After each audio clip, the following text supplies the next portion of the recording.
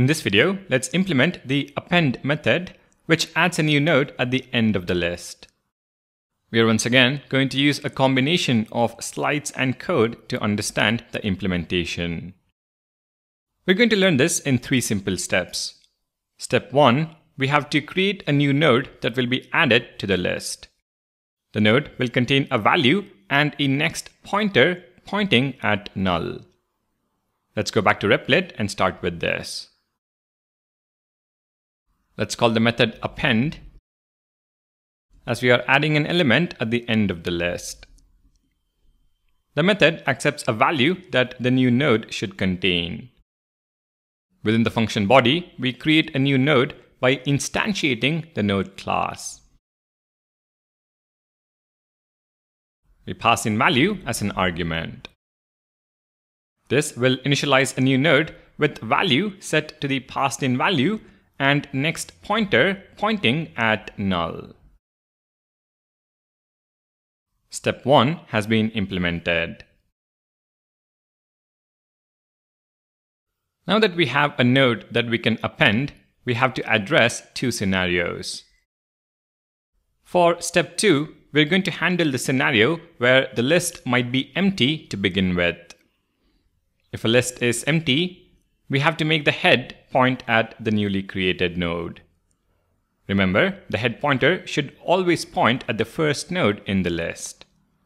If this is clear, let's go back to Replit and write the code. If this dot is empty, this dot head is equal to the new node. We will also update the size to keep track of the number of nodes in the list.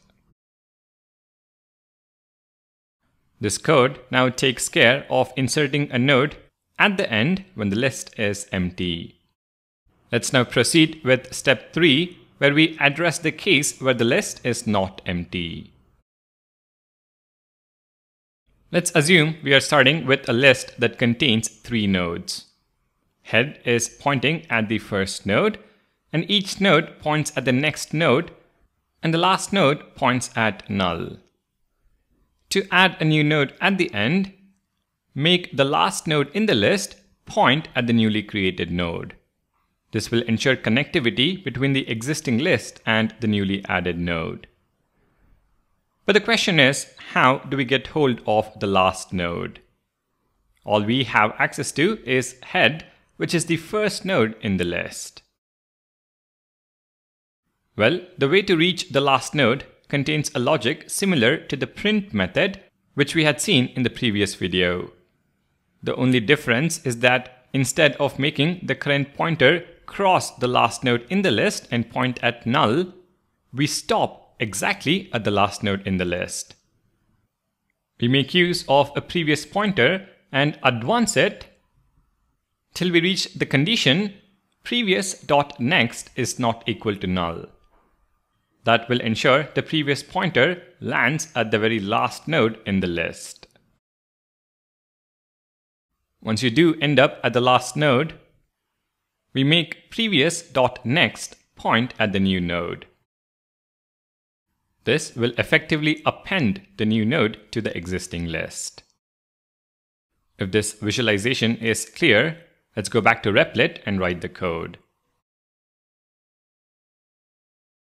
So if the list is not empty, that is else block, we begin by traversing to the last node in the list.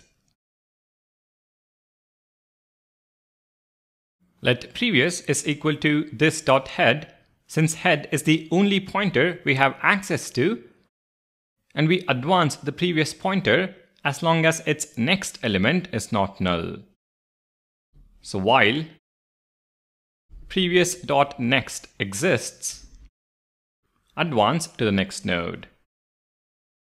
Previous is equal to previous dot next. The while loop will exit at the last node where next points at null. As you can see here in our slide. Now we make the previous node point to the newly created node. So previous dot next is equal to the newly created node. And of course, the size will be incremented irrespective of whether the list is empty or not to begin with. This is the implementation of the append method for a linked list. At the bottom, we can now call this method on the list instance. I'm going to replace all occurrences of prepend with append. If I now run the code, we see the logs in the console. We add 10 and the same is printed in the console. We add 20 and 30 and we see the list now contains all three elements in the right order. 10, then 20, then 30 since we are appending. Our code is working as expected. Now I want to take a minute to talk about the time complexities of both prepend and append. Appending a new element at the start does not depend on how many other elements are there in the list. So prepend has a constant time complexity.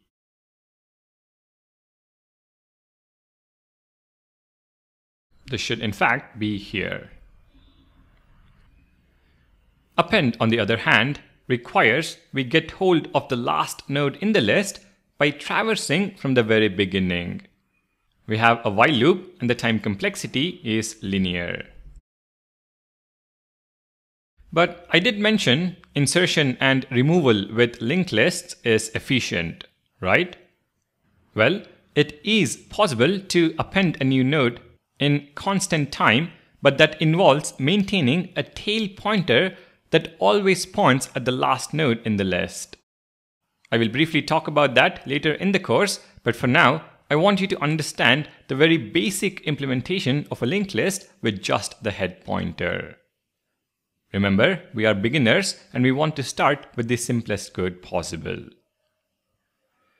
Alright, now that we know how to prepend and append, in the next video, let's see how to insert a new node at a given index in the list.